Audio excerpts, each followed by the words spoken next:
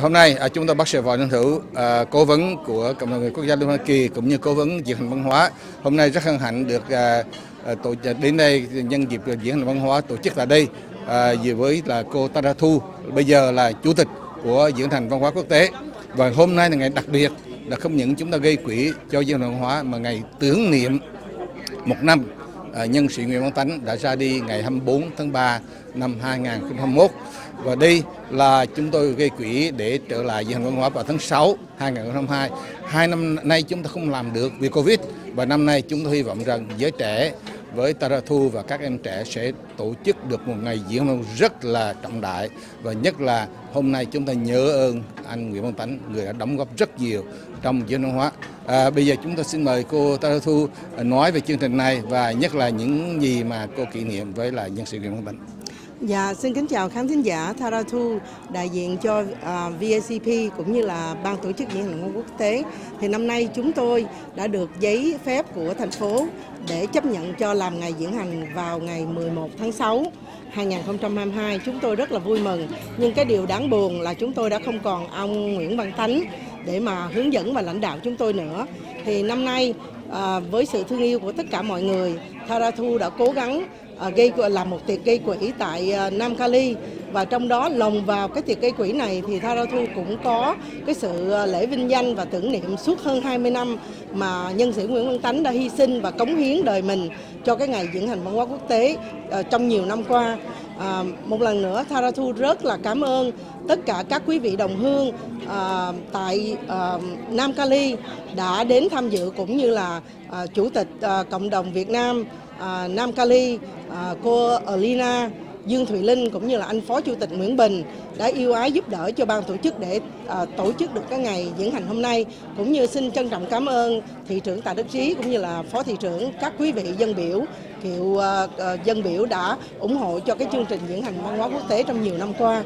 À, Tha Đơ có rất là nhiều kỷ niệm với chú Nguyễn Văn Tánh nhưng cái điều quan trọng nhất là cái truyền thống bất khuất và cái sự hy sinh cao cả của chú Nguyễn Văn Tánh à, cần được mọi người à, biết đến. Bây giờ chú đã không còn nữa thì chúng ta thế hệ trẻ cần phải dấn thân, cần phải đi tiếp tục và chúng ta cần phải bảo tồn, gìn giữ cái lá cờ vàng ba sọc đỏ cũng như là cái ngày văn hóa diễn hành à, của mình tiếp tục được à, trường tồn tại à, thành phố New York. Dạ xin cảm ơn. Vâng, rất là vui là gặp lại tất ở đây và chúng tôi cũng đã đi diễn hành rất là nhiều năm và chúng ta quen anh Tánh từ năm 2000, 1922, 92 tới bây giờ là 30 năm và ngày chúng tôi đi tham dự đại hội của cộng đồng Liên à, Hoa Kỳ và cũng như là hoạt động rất nhiều trong cái diễn văn hóa. Và mong rằng năm nay chúng ta sẽ rất thành công với giới trẻ. Và tôi mong rằng với sự uh, hoạt động hăng say cũng như là với niềm ưu ái và nhớ ơn nhân sự văn thánh chúng ta cùng nhau cộng đồng không những tại Hoa Kỳ mà khắp nơi trên toàn thế giới từ Canada, từ Âu Châu, từ Úc Châu sẽ cùng nhau hỗ trợ hoặc là về tham dự hoặc đóng góp tiền cho ban dân văn hóa. Và chúng tôi mong rằng Ờ, ngày hôm nay là khởi đầu để chúng ta sẽ trở lại những cái ờ, buổi diễn hành văn hóa rất tốt đẹp ở tại đại lộ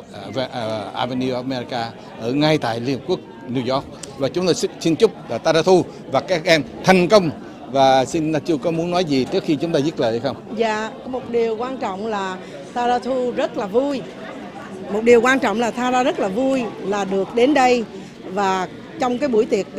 hôm nay thì chúng tôi đã có được uh, sự hiện diện của gia đình của nhân sĩ Nguyễn Văn Tánh và khi quý vị sẽ thấy được cái sự vinh danh và cái sự uh, tưởng niệm của chú Tánh một người hy sinh quá nhiều cho cái ngày diễn hành văn hóa quốc tế. Ngoài ra quý vị có thể ủng hộ cho chương trình diễn hành văn hóa quốc tế uh, qua uh, sự đóng góp qua PayPal, qua cái website mà chúng tôi đã thành lập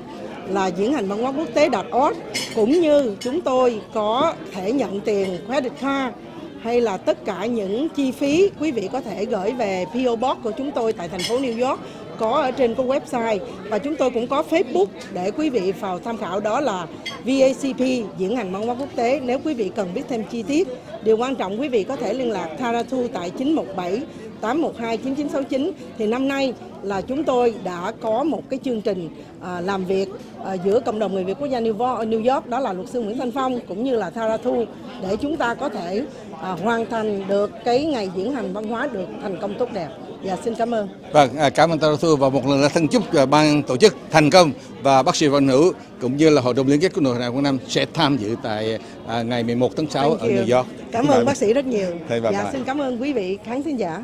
đã lắng nghe.